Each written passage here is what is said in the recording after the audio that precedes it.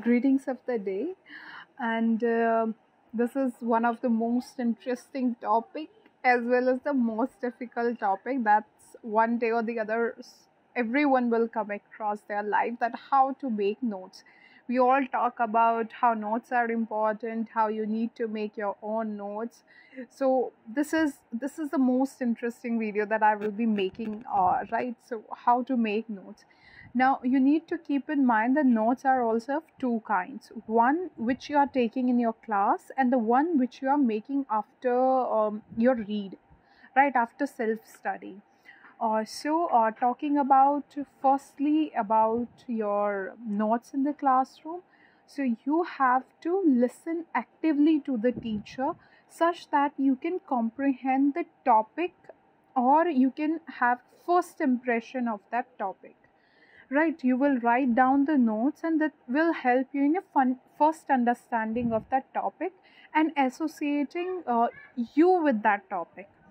Right then you have what you have to do is that second point is you need to mark the important points in the textbook.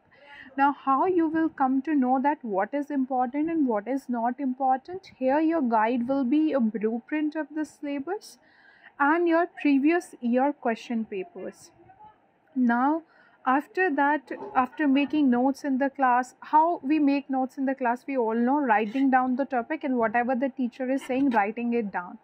In whatever manner you want right? There is no of uh, framework that you need to follow here.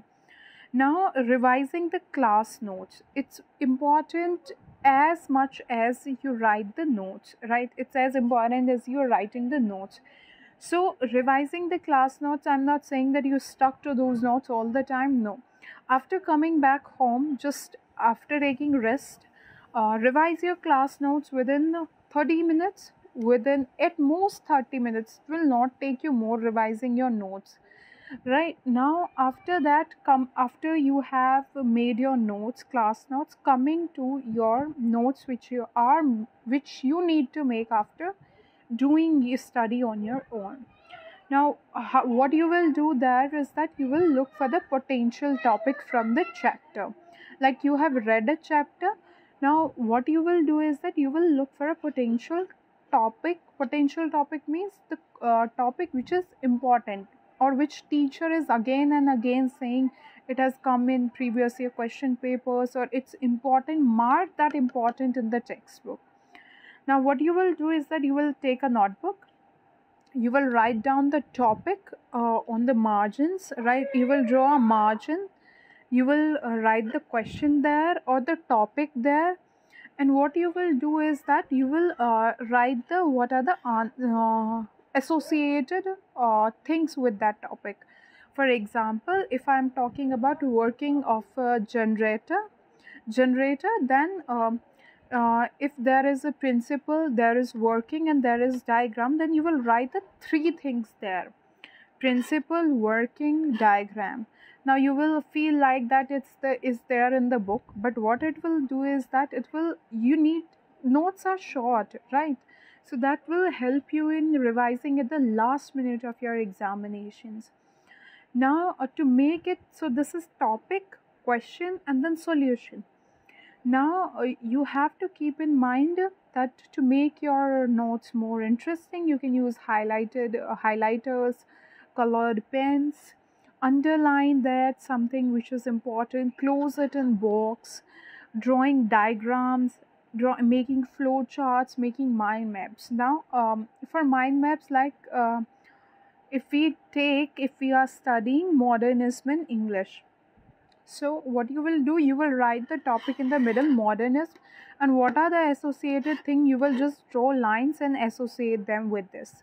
So this will help you in organizing that single topic, modernism, in uh, in one page only, right? So these, this is the trick that how you make uh, your uh, notes on your own right this is very helpful notes are very handy you can revise them at the last minute now i am i want to assert one thing here emphasize one thing here that if you have studied the whole chapter but you have not revised anything at the last moment that this is equal to nothing right?